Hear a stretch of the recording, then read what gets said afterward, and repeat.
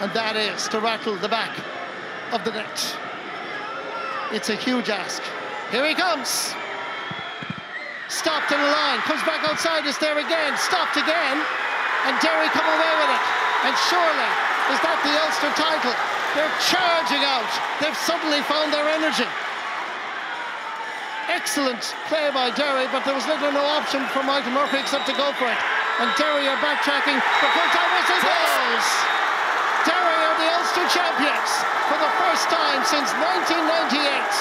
Rory Gallagher, former Donegal manager, has guided his county, his adopted county, to their title, their first was won in 1958, 70, 75, 76, 87, 93 and 1998 and now in 2022.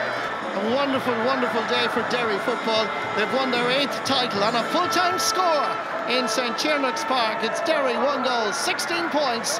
Donegal, one goal, 14.